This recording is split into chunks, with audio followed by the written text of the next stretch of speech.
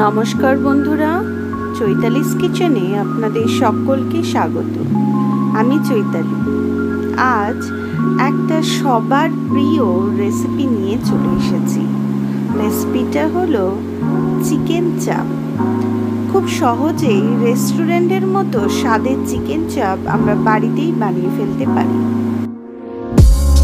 Chicken চাপ বানানোর জন্য লাগবে ম্যারিনেটেড চিকেন তো চিকেনটা কীভাবে ম্যারিনেটেড হয়েছে সেটা আমি পরে বলে দিচ্ছি।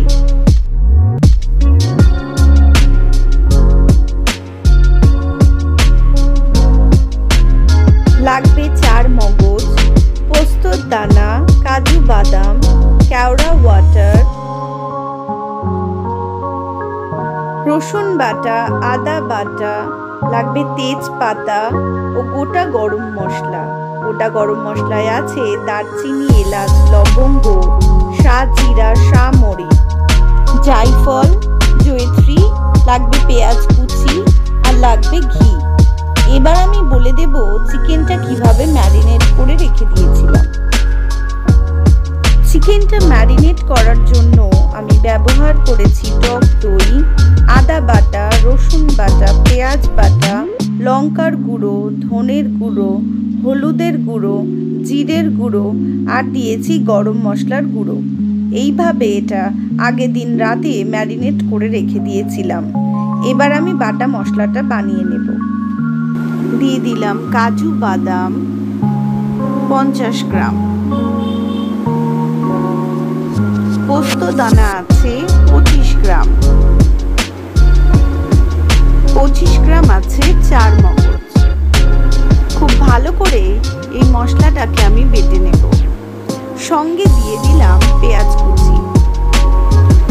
এখানে একটা গোটা পেঁয়াজ আছে, কুচি করে নিয়েছি।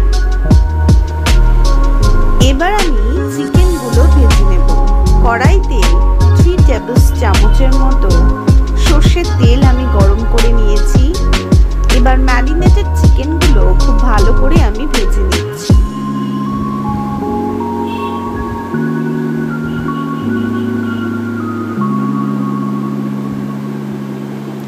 চিকেনগুলো খুব সুন্দর করে লাল লাল করে আমি ভেজে নেব।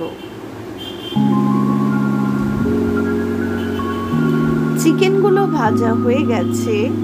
চিকেন তুলে নিয়ে ওই তেলের মধ্যে দিয়ে দিলাম তেজপাতা দারচিনি, এলাচ, লবঙ্গ আর দিয়ে দিয়েছি জায়ফল জৈত্রী সাজিরা, সামরিচ।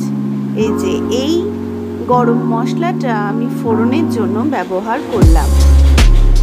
এবার দিয়ে দিলাম রসুন বাটা ওয়ান টিস্পুন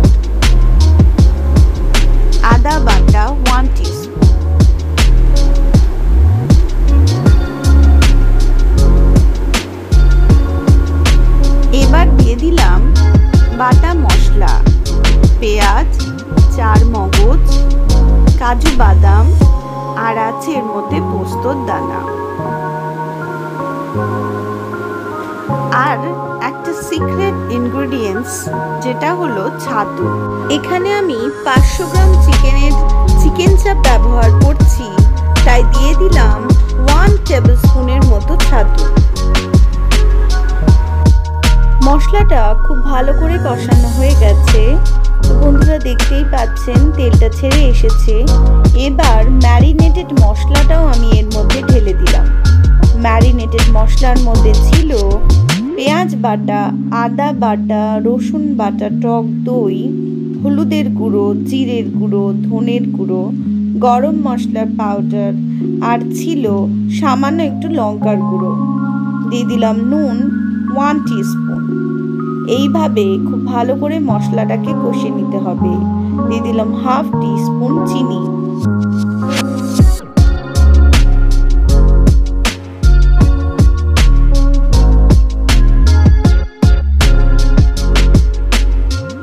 মশলাটা খুব ভালো করে কষিয়ে নিয়ে এবার আগে থেকে ভেজে রাখা চিকেনগুলো আমি দিয়ে দিলাম। তো আগে থেকে ভেজে রাখা চিকেনগুলো দিয়ে সুন্দর করে সাজিয়ে নিতে হবে। তারপর এই মশলার সঙ্গে চিকেনটাকে আমি আরও একটু কষিয়ে নেব।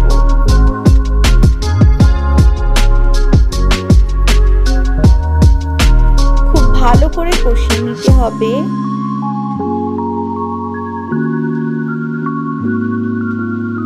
এবার আমি একটু ঢাকা দিয়ে দিলাম। পনেরো মিনিট পর আমি এটার মধ্যে আরও একটু গরম মশলার গুঁড়ো দিয়ে দিলাম। দিয়ে দিয়ে দিলাম ঘি ওয়ান টিস্পুন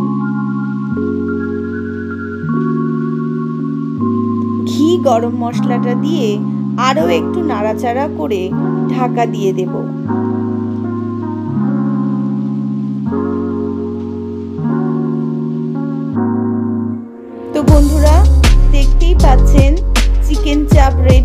গেছে এবার এটাকে একটু স্ট্যান্ডিং টাইম দেব আর তার আগে দিয়ে দিলাম kewra water one teaspoon kewra water দিয়ে স্ট্যান্ডিং টাইম রেখে দিলেই রেডি হয়ে গেল চিকেন চাপ তো বন্ধুরা দেখতেই পাচ্ছেন চিকেন চাপ একদম রেডি এখন আমি এটাকে সার্ভ করে দেব।